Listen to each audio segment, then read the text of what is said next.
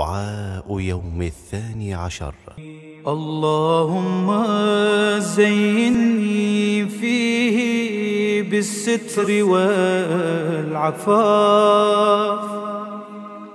واسترني فيه بلباس القنوع والكفاف واحملني فيه على العدل والإنصاف.